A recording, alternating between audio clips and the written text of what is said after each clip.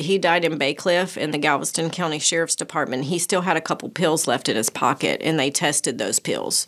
So when they came to inform me that he was gone and uh, tell me that, that he was dead, they told me that it was fentanyl at that moment. They tested the pills that were in his pocket, and, and they were confirmed fentanyl pills. That's how I found out he passed away. Is we thought he was in the bed when the cops came, and uh, my son, my husband said, "Oh, let me just go get him. He's back here." And he said, "No, no. Can I just come in? Where's your wife? I just need to come in and talk to you guys." And definitely didn't hit me at that moment. I couldn't even cry. It, it couldn't hit me um, until later on, whenever you think you see him passing in the hallway, or you think you see him passing in front of a window, or you don't hear his laughter anymore.